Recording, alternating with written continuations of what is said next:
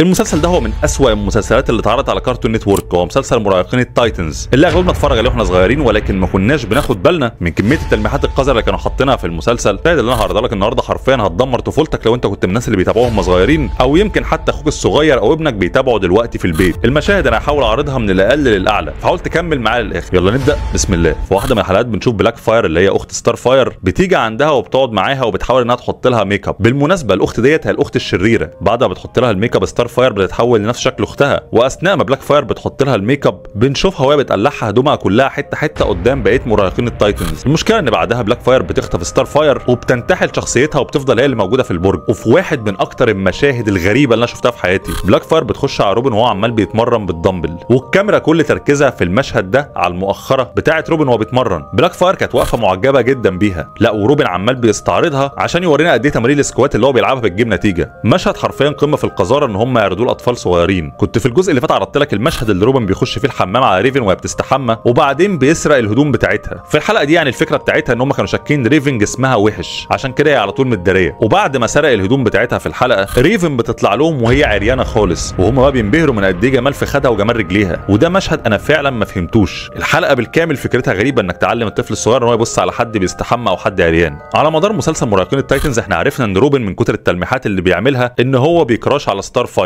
لكن بقى في حلقة من الحلقات الموضوع اخد منحنى تاني. بنشوف روبن وهو واقف مع Starfire عمالين بيتكلموا وبعدين بتوريه صوره الملصق أو إعلان موجود عليه مايو بيكيني. وبعدين بتقول له إن هي اشتريته من على الإنترنت. مش دي المشكلة. المشكلة إنها بتقول لروبن استنى وبتخش في الحتة اللي بيغيروا فيها الهدوم وبتقلع وبتلبس البيكيني قدامه. انسى مش هعرض مشاهد طبعا. وبعدها بقى بتقول لروبن تعالى عشان يدهن لها بالواقي بتاع الشمس. على جسمها كله. في نفس اللحظة بنشوف روبن وركز هنا. مجرد ما بتقول له الكلمة دي شعر راسه بيقف. القصد مفهوم وهو إن هو حصل استثارة. في بقى واحدة من الحلقات اللي كان فيها إيحاء غريب جدا. Aquaman بيطلع لهم من البحر وبعدين بعد ما بيعمل معاهم شوية أحداث يعني بيكون بيسمي نفسه القرصان وبيبتدي إن هو بقى يشوف نفسه عليهم. بيتعامل أكتر مع ريفن وبيحاول إن هو يعني زي ما بيقولوا يجيبها سكة وبياخدها وبيطلعوا في date أو موعد غرامي. المشكلة إن ريفن بعد ما بترجع من موعد الغرامي وبتقف شوية تتكلم مع سايبورج بيقول لها إيه بقى عمل لك إيه؟ هل وراكي وركز في دي. مؤخرة القرصان بتاعته. المشكلة إن ريفن ما ردتش عليه. كل اللي عملته إن هي عملت ال emotion اللي قدامك ده وشها ظهر عليه نوع من أنواع الخجل وفي نفس الوقت هي مبسوطة. فأنا هنا عايز أعرف هو إيه اللي وراه لها بالظبط عشان تبقى مبسوطة بالمنظر ده؟ في واحدة من حلقات مراهقون التايتنز اللي ريفن فيها بتاخد الهدوم عشان تغسلها للبرج كله. الحلقة دي كان فيها إيحاء صعب فهمه ولكنه كارثي في نفس الوقت. ريفن بعد ما اخذت الهدوم من ضمنهم المفترض إن هي اخذه الجسم بتاع سايبورج لأن سايبورج نص بني آدم ونص إنسان آلي. فراسه ممكن إنها تنجو لوحدها لأن فيها العقل. وريفن لما اخذت منه الجسم فهو بقى محتاج جسم جديد. فدخل الخزانة بتاعته وهو عنده مجموعة أجسام. فبدأ إن هو يعدي في الاجسام واحد ورا التاني وإحنا عمالين بنشوف فيهم واحد ورا التاني لحد ما وصل وركز هنا بقى لجسم إنسان آلي على شكل بنت لونها بامبي وواقفة وقفه مثيرة شوية. اللي أنا عايز أفهمه أنت ليه تخلي واحد زي سايبورج عنده جسم شبه ده؟ إلا لو هو كان بيستعمله في غرض ما. القصد من الحلقة لو أنت ما فهمتش هو إنهم بيروجوا للمتحولين زي ما إحنا شفنا كده القرف اللي عملوه في أولمبياد باريس وإن هم جايبين شخص متحول ومطلعينه على إن هو شيء عادي إن الولد ده ينفع يبقى بنت والبنت تنفع تبقى ولد. تخيل إن هم بيحطوا الكلام ده في مسلسل أطفال كلنا اتفرجنا عليه تقريبا وإحنا صغيرين. وده كان الجزء الثاني من اقذر وأسوأ مشاهد موجودة في مراهقون التايتنز. ولو عايزين جزء ثالث اكتبوا لي في ال commentات ولو حد عنده مشاهد أنا ما ذكرتهاش يكتبها لي برده في ال comment. خليكم جدعان وشدوا حيلكم معايا شوية عشان إحنا الحمد لله قربنا على المليون مشترك. مليون أخ وأخت يا جماعة رقم رقم فظيع يا جماعة. كمان لسه ما احتفلناش بالدرع بتاع مليون التيك توك ولكن ده سيبوه لوقته يعني. ما تنسوش أهالينا في غزة وفي السودان من الدعاء بتاعك كان معاكم محمود زايد. سلام.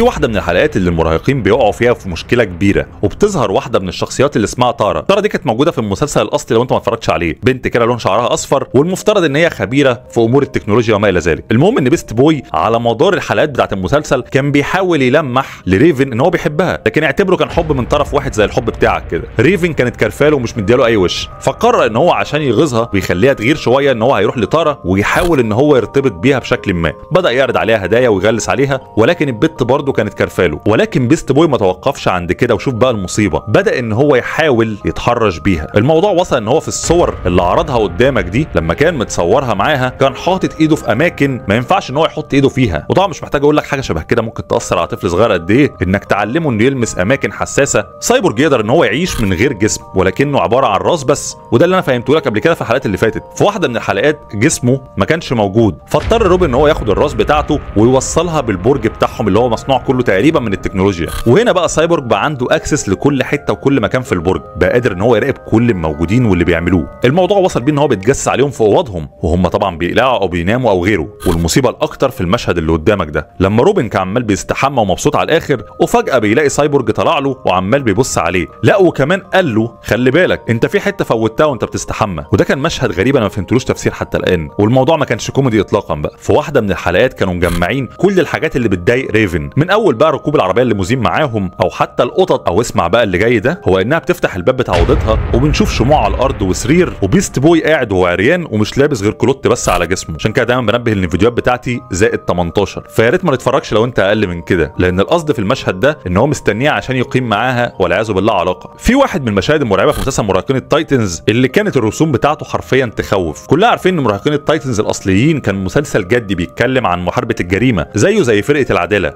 سوبرمان وباتمان وغيره. والناس بتكره مراهقين التايتنز بسبب إن هو شال الطابع الجدي من المسلسل. وحوله حرفيا لمسخرة زي ما أنت شايف. فقرروا إن هم بقى في الحلقة ديت استجابة لآراء الناس إن هم هيعملوا حلقة بجد. وهنا بدأوا يضغطوا على جسمهم لحد ما حولوا وشوشهم للأشكال المرعبة اللي قدامك دي اللي هي بعيدة كل البعد حتى عن الرسوم الأصلية بتاعت المسلسل اللي المفترض انها كانت بجد. في حلقة ستار فاير مشت فيها وسابت لهم البرج وسابت معاهم الحيوان الأليف بتاعها اللي اسمها سلكي وهي عبارة عن دودة كبيرة عشان هم ياخدوا بالهم ويرعوها ولكن بمجرد ما هي سابتها ومشيت روبن بيشوفه بيخش أوضتها زي ما قلت لك إن هو بي crush عليها وابتدى إن هو يرسم ويشخبط في كل حتة يدور في حاجتها لا وكمان اخذ المذكرات بتاعها وحطها جوه ال under بتاعه. التصرف ده طبعا تصرف إباحي والمقصود منه واضح جدا. وبنشوف في نفس الحلقة كمان مشهد للدودة وهي ميتة وأشبه ما تكون بالموميا وفي صرصار بيطلع من بقها. مشهد حرفيا كان مرعب. ده بقى أنا بعتبره أكتر مشهد مثير للجدل ومرعب في مراهقين التايتنز كله. المشهد اللي ظهرت فيه جماعة وتمثيل للمسيح الدجال. بتبدأ الحلقة وإحنا بنشوف مراهقين التايتنز بيحفروا كأنهم بيدوروا على شيء وأثناء ما هم بيدوروا روبن فجأة بيلاقي قدامه الهرم الماسوني المشهور. وبنسمع واحد منهم بيقول في الخلفية المتنورين. ولو أنت ما تعرفش يا جماعة كتير زي المتنورين البناؤون الأحرار وغيره. وبنشوف بعدها كهف مليان بقى بالرسومات والنقوش والخزف المزخرف واللي مرسوم عليه كل نظريات المؤامرة اللي هم ناويين ينفذوها على كوكب الأرض. بعدين بنشوف كائن ضخم مرعب بيظهر لهم راسه راس مثلثة شبه الهرم وفيها عين واحدة. ركز في موضوع العين الواحدة. الكائن ده بيظهر وبيقول لهم أنا نومينو زعيم المتنورين في العالم. وبيبص لهم وبيقول لهم لن يكون من الصعب إدخالكم ضمن خطتنا. وبعدين بيشاور على الحيطة على رسمة أشبه ما تكون برسمة الدولار. المقصود هنا إن بالفلوس بيقدروا إن هم يسيطروا على الإعلام البرامج التلفزيونية وحتى برامج الأطفال. والحلقة دي كانت مليانة رسائل زي مثلا الكلام على الفضائيين أو طلوع القمر ومخططات تانية هم كانوا مخبيينها عن العالم. وده هنحاول نتكلم عنه في الحلقات الجاية. وبرضه عايز أعرف آرائكم في الكومنتات ولو في أي حاجة فاتتني قولوا لي عليها. ويا ريت ما تنسوش ال like وال follow وتنشروا المقطع عشان نوعي أكبر قدر من الناس. ويا ريت ما ننساش أهلنا في السودان وغزة من الدعاء بتاعنا. كان معاكم محمود زايد سلام.